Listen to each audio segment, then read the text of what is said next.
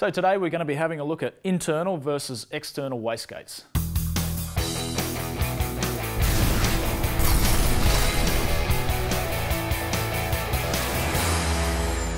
Most factory turbo cars come with an internal wastegate setup.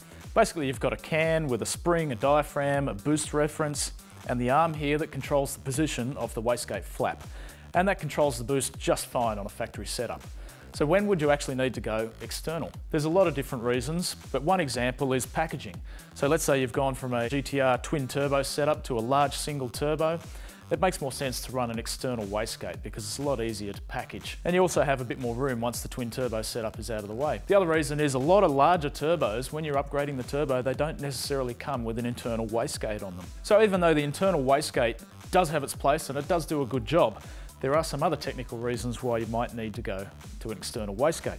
Uh, a good example is if you are using an external gate, you can actually route the dumped gases to feed them back into the exhaust pipe downstream of the catalytic converter or, um, or even dump it straight out to atmosphere if you're using it in a place that would allow such things. The main reason you do that is to get the turbulence away from the chamber behind the, uh, the turbine outlet. So in this case, with the internal wastegate, where the wastegate dumps the gases generally feeds pretty much straight into the exit of the turbine. So you can get turbulence which creates back pressure and it's not generally the best for performance. It's good, but it's not great. So using the external, you can pretty much get rid of those gases. If you dump them out to atmosphere, then you're also freeing up the exhaust pipe to carry just what's been dumped by the turbine. So here's an example of an external wastegate. This is the GFB EX50 that I've developed. One of the other benefits of this over the internal setup is that you can easily change the spring rate.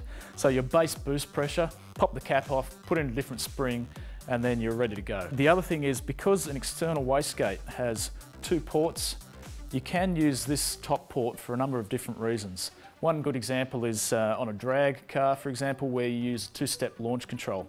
There's so much popping and banging and backfiring in the exhaust while you're on the start line that it generally tends to blow the wastegate valve open. Uh, what a lot of racers will do is apply CO2 from a bottle to the top of the diaphragm and that is going to hold the wastegate shut. So while you're sitting there on the two-step and the banging, popping and everything going on, you can keep the wastegate shut to make sure you get all of the boost possible for launch. Then when you relieve the CO2, then you can start controlling boost. The other thing you can do is you can even use the top port for uh, additional boost control. So let's say you want to bleed everything off from the bottom here to get as high as you can on the boost pressure, but the spring won't let you go any further. You can actually run a four-port solenoid system which allows you to pulse not only the pressure going to the bottom, but the top as well.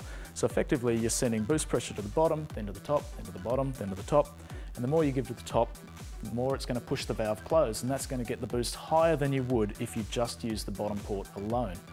So those features alone make the, uh, the external wastegate a more enticing proposition for those that want to tune the boost to do a lot of different things. So drag strip circuit racing, if you have some very specific needs for your boost control, that really is the way to go.